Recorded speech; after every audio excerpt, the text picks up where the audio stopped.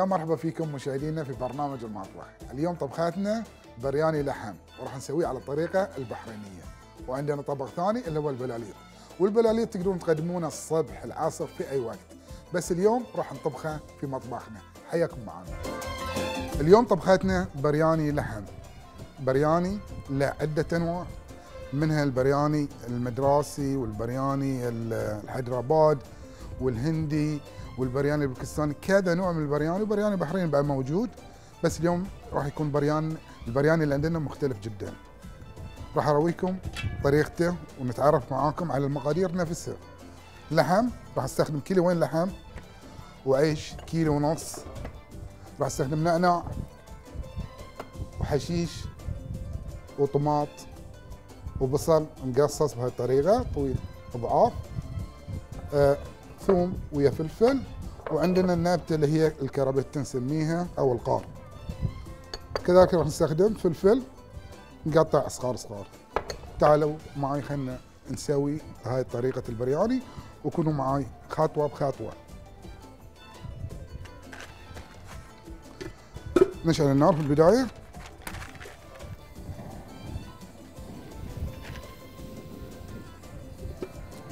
من أساسيات البرياني. كل ما بغينا نسوي برياني لازم نسوي الأساسيات الصح. الطريقة الصحيحة في البرياني نستخدم في البداية الزيت وبعدين بننزل البهارات الصحيحة. البهارات الصحيحة دارسين مسمار آه، فلفل وهيل ورق غار. شو عندنا؟ ننزل الزيت بداية.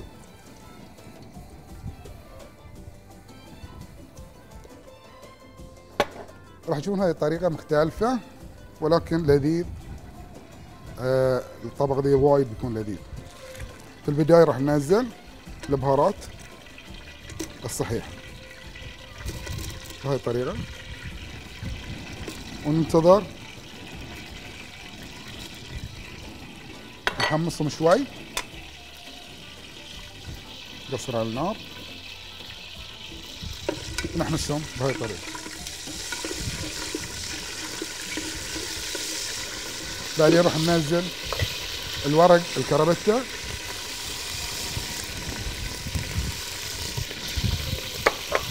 نحركهم شوي شوي. فلفل.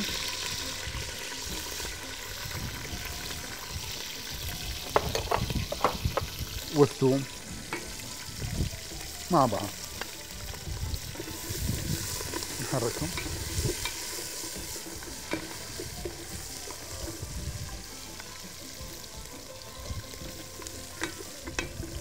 تغيرت الحامسة عندنا ننزل البصل على طول.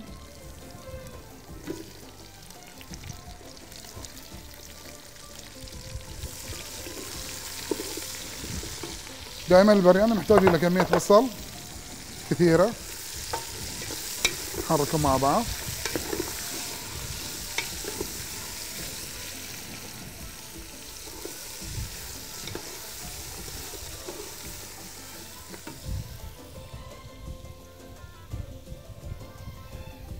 طفت النار.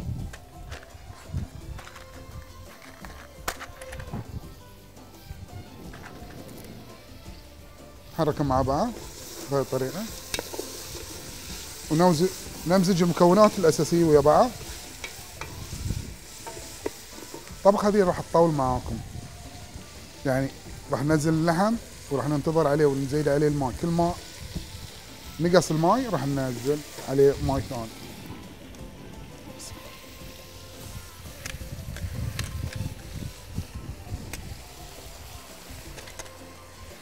ممكن تسألون تقول لي اللحم شنو نستخدم اللحم؟ أي لحم؟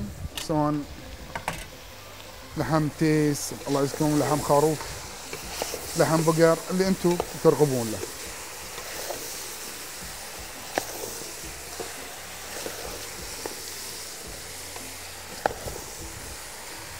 ممكن تقول الجدرنا صغير بس الجدرنا إحنا نبيه يكون متماسك مع بعض وراح نغير الجدر مرة ثانية لما نحط العيش. بس حاليا إحنا محتاجين هاي الجدر.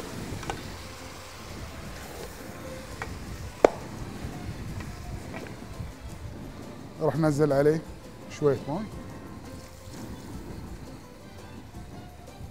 ونحط شوية حشيش.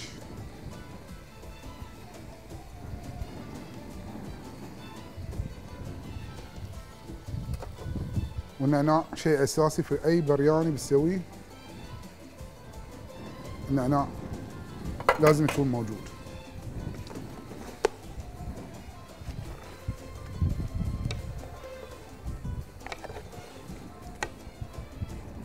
تكم راح ننزل عليه ماي. طريقة. وكل ما ينشف الماي نرد مرة ثانية نعبي ماي. كل ما ينشف ماي نرد نعبي ماي. لين ينضج عندنا اللحم. البهار ما نحطه الحين البهار بعد شوي بعد ما يخلص أول مرحلة من الماي ماله وينشف عنه شوي راح ننزل عليه البهارات ونكرر العملية مرة ثانية في الماي.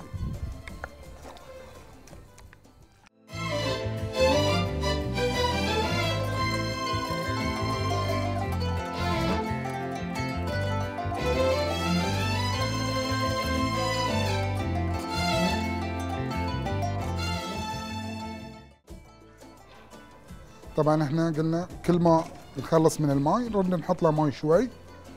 ظلينا نحطه لمدة تقريبا حوالي نص ساعة أكثر. بدأ اللحم يكون لين. طبعا نحط عليه المكونات اللي قلنا راح نحطها بعد ما يستوي اللحم. بداية راح نحط البهارات. طبعا راح نستخدم في البهارات بودرة الكاري. وعلى حسب الرغبة إذا كنت تحبها سبايسي أو حارة شوي فتحطون عليها البودرة الكشميرية اللي هي البودرة الحارة.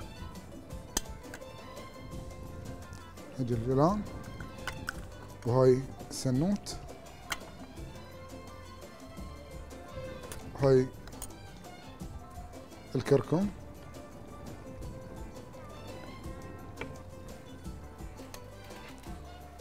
نرش عليه شوية ملح.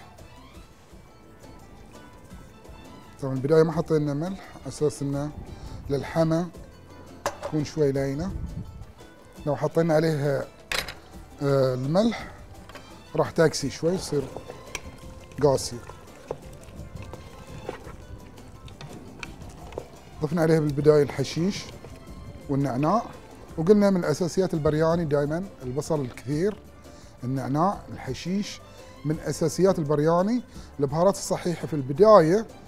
نحط الزيت ونخلي البهارات الصحيحة وبعدين ننزل عليه الثوم وبعد الثوم البصل ونحمسهم مع بعض وننزل اللحم بعده. قلنا حطينا المكونات راح آخر شيء أحط الطماط. وابتدي أحرك فيه. طبعا صغر علينا الجدر. وقلت لكم راح أستخدم جدر صغير عشان يضغط اللحم بس. وبرجع مرة ثانية أستخدم جدر العود. عشان أنا باقي إني أنا أضيف العيش.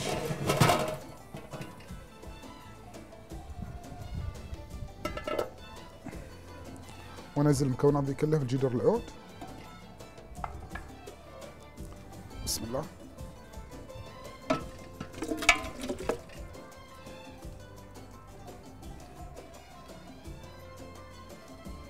طبعا حتى هاي الطريقة بالخلطة تقدر تاكلونه ويا خبز من غير ما تضيفون لها عيش.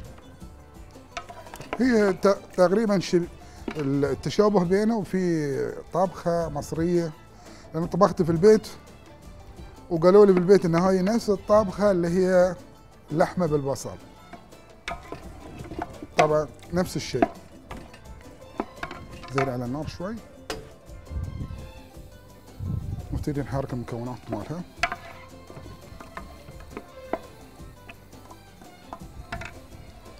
كذي خلصنا بس نضيف عليها ماي ونخليه شوي يزيد المرقة بعد. نحط عليها.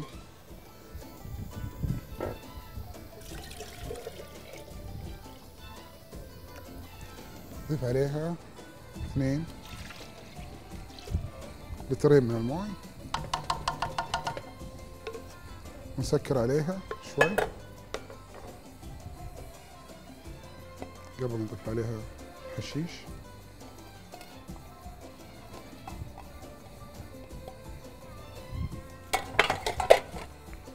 نسكر شوي. روحها. بنقلي البصل. وقلنا معلومة من قبل نحب نأكدها مرة ثانية. تقطيعة البصل بحيث إنه يكون صغار وعشان نسوينا حق التزيين أو ويا خلطة العيش قلنا نضيف عليه نسبة من النشا حوالي قابشة من الشك من آه، مالت الشاي ونخلطه مع بعض. في النهاية راح يصير عندنا مقرمش أو شو اسمه لون الذهبي راح يكتسبه. نجيب البصل كله؟ ونحرك فيه. بهاي الطريقة. راح استخدمه حق التزيين ممكن استخدمه من بين العيش حطة. هاي بالصالونة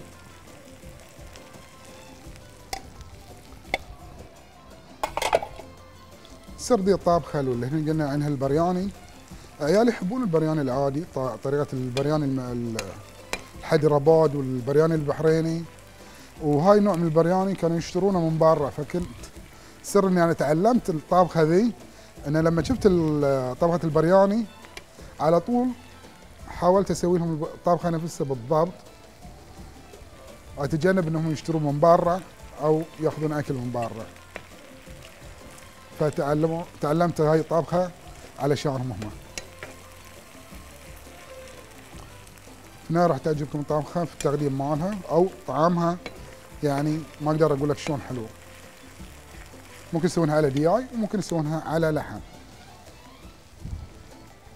ونفس الطريقة بين الدياي وبين اللحم نفس الطريقة مالته قلنا إحنا كل ما نزل الماء عن اللحم أضفنا بعد عليها بعد ماي إلى أن ينضج اللحم. راح ياخذ وقت وايد لكن في النهاية راح تكسبون أكلة لذيذة إن شاء الله.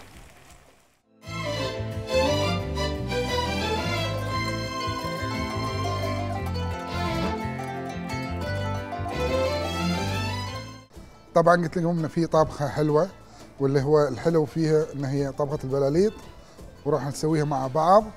طبعا مكوناتها شعرية اللي هو البلاليط بيض وهيل وزعفران وماي ورد وزيت والسكر طبعا هاي كلها المكونات مالها.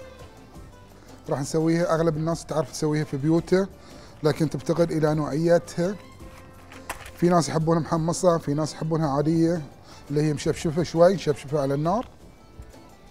البداية راح نجيب الماي ونحط فيه السكر. مع كل كيس واحد بلاليط راح تحطون فيه تقريبا مقدار قلاص لنقول إنهم اثنينهم حوالي تقريبا نص كيلو. راح نحط كيلو سكر.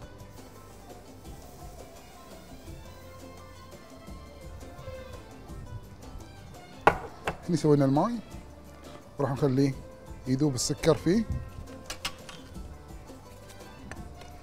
راح نخلي السكر يذوب في الجدر ونبتدي نشتغل في البلاليط نشفشفه.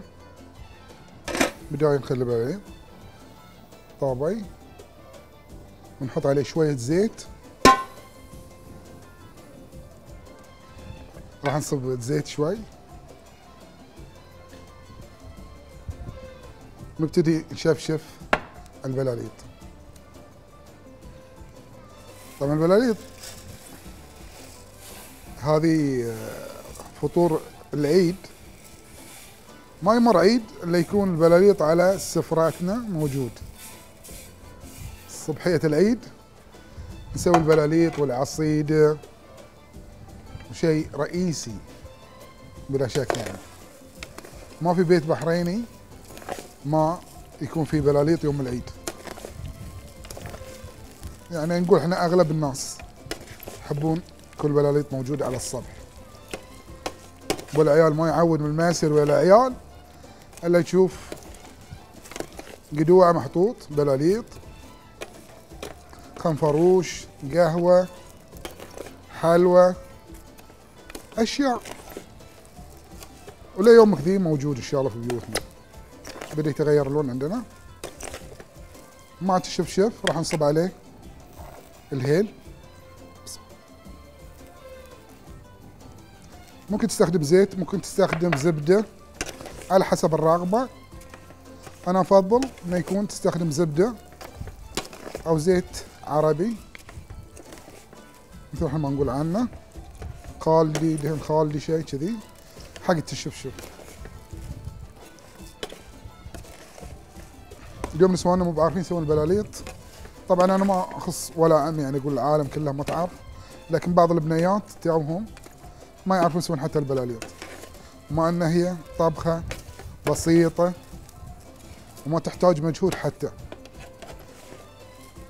مثل ما شفتوا حطيت الماي سخنت الماي أضفت عليه سكر والحين بشفشف البلاليط اللي هي الشعرية وبنزلها في وصل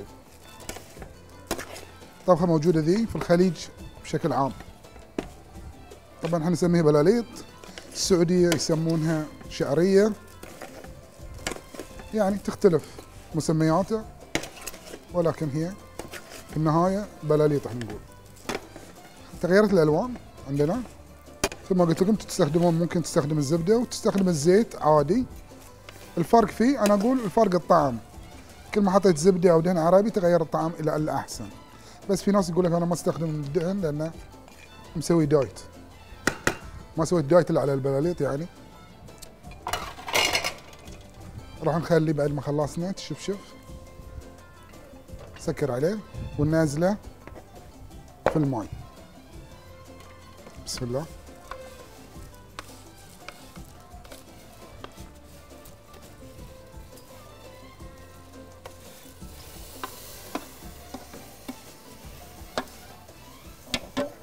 بهالطريقة ونحركه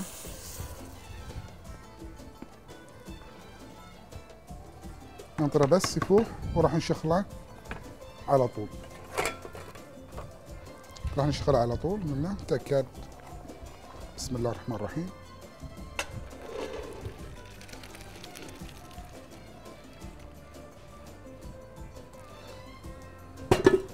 لو حسيتي إن السكر قاصر في وقت الشخله وتردينه مرة ثانية تعودينه تضيفين عليه شوية سكر.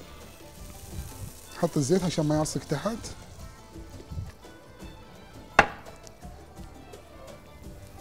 قلنا لو قصر عليك الزيت مري قصدي السكر راح تضيفين على طول وتحطين له سكر. هرجه مرة ثانية. بسم الله.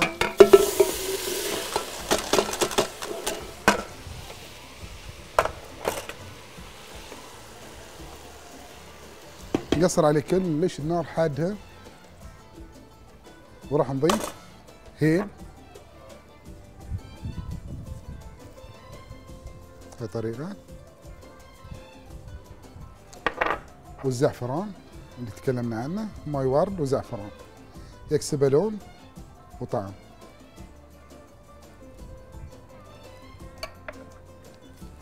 حركة شوي. نبارد شوي على جوانب. راح نسكر عليه.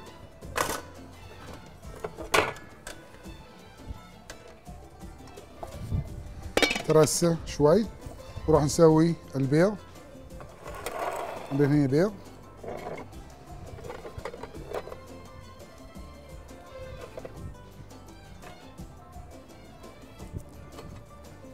كسر البيض.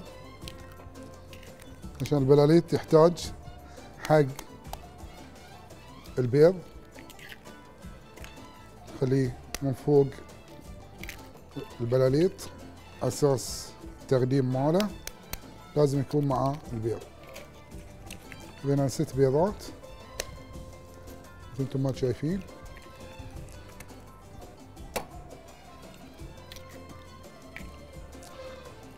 راح نخلط البيض بهي الطريقة.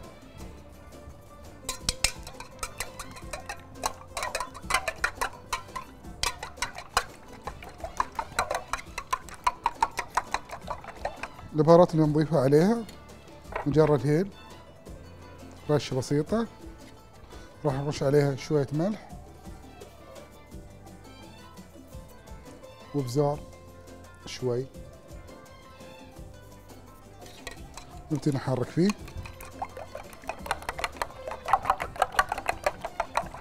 بهاي الطريقة. ونقليها على أساس إنها تكون مع التقليب.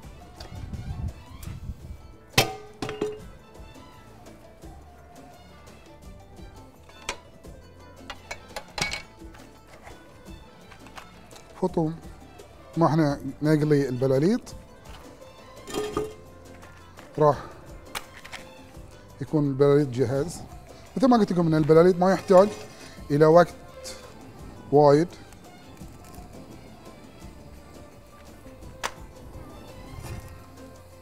طبعا شفتوا المكونات؟ مرة ثانية نقولها لكم.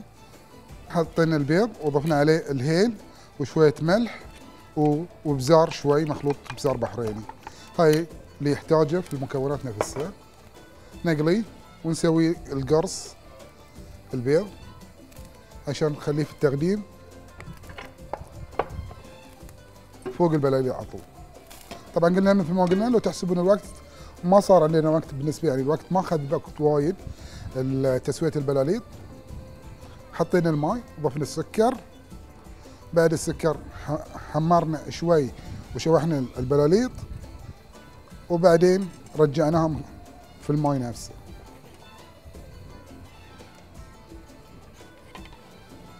هاي البيض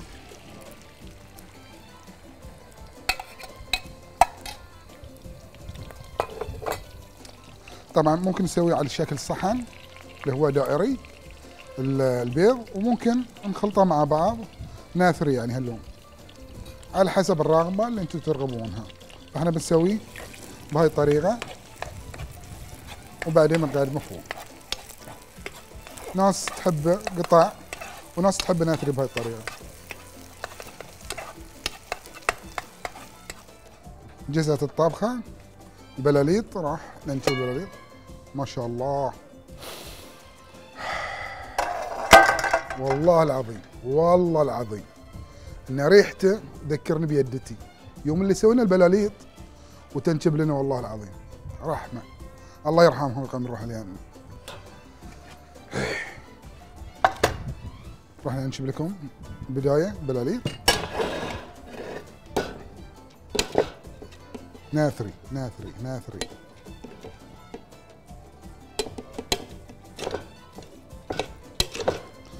الوالد اللي انحطت له ام البلاليط قال لها وين وين الوارية؟ يعني ما شاء الله عليك هديت البلاليط دور الوارية. شياب. مشكله وأنا بخلي الواريه حق أبوي. هاي الواريه بخليها حق الوالد حط عليه البيض. قلنا ممكن تحط البيض قرص وممكن تحطه بهاي الطريقة نثري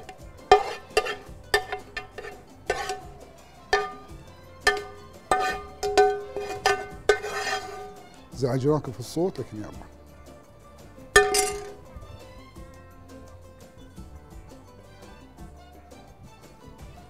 بهاي الطريقة.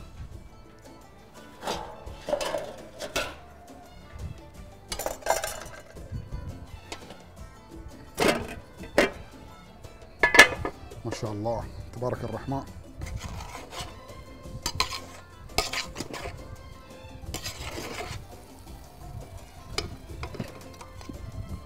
هذه البرياني بهاي الطريقة الآسيوي.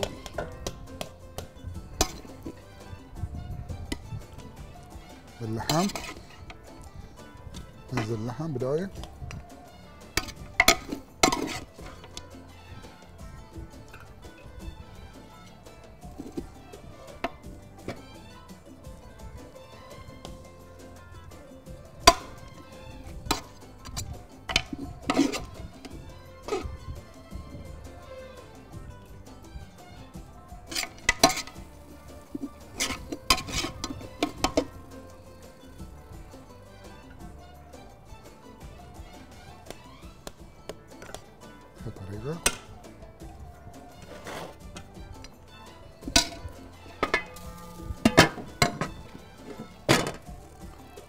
راح نزينه بالبصل.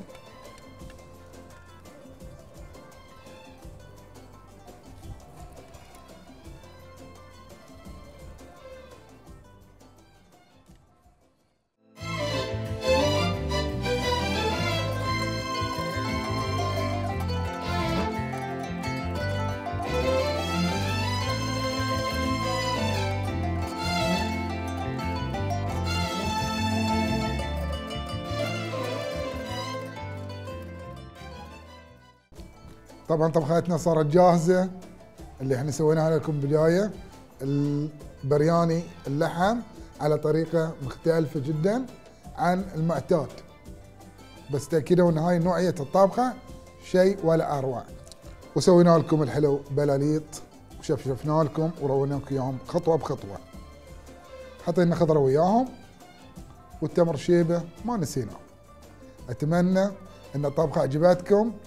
ونشوفكم في الحلقة الجاية وطبخة جديدة من مطبخنا.